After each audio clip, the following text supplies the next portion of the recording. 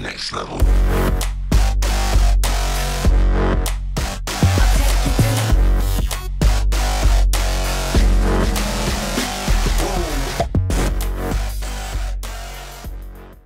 What's going on, guys? And by the title, you can already see, yes, Optic did make their new team change, or they made their second team new roster, I should say. They made a new roster consisting of MBoZe, Killa, Miracles, and Ricky.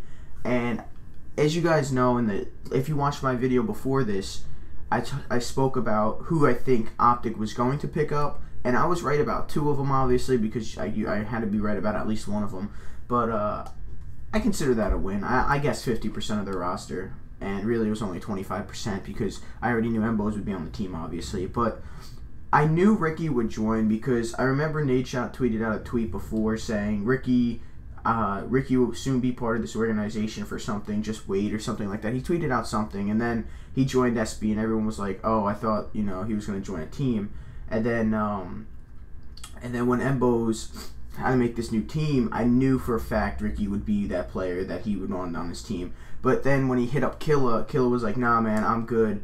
Uh, I don't want to team with Ricky." But I think that was just to throw people off because he ended up teaming with them anyway. And I knew if I knew that if he t- teamed or if Killa teamed with MBoZe, he wanted to bring someone with him because he doesn't like Ricky a lot because they were obviously on Curse LV and they didn't really like they didn't they didn't get along. They kind of hated each other towards the end.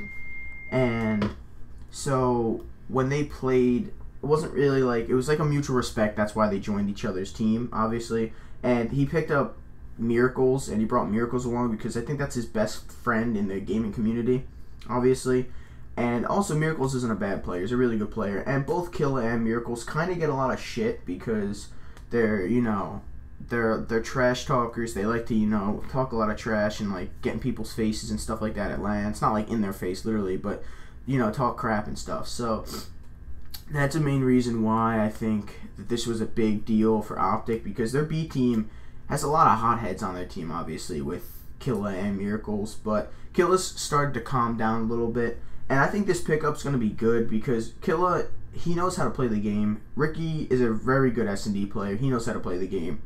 And I think they really did want Ricky at first, the new Optic squad. I think Ricky wanted to go back to the regular Optic squad, but once they picked up Proofy, uh, there was no chance of him doing that. But that would have been cool if Ricky went to the Optic A team and the Optic B team decided to um, pick up Proofy. But all in all, I think this roster change is good for the Optic B team. The Optic A team, I really didn't know what they were doing, picking up another Slayer AR type of deal, but we'll see how it plays out because Clayster is a very good SMG player as well. But we'll see how that plays out. And that's really about it. And the gameplay you guys were watching is a tournament we played. It was a 2v2 TDM tournament. This was the finals. We won the second game and we ended up losing the third game, best of three. We lost 2 to 1 in the series, lost in the finals. But hopefully you guys did enjoy. As always, guys, it's Chris. Please follow me on the in on Twitter and have a great day.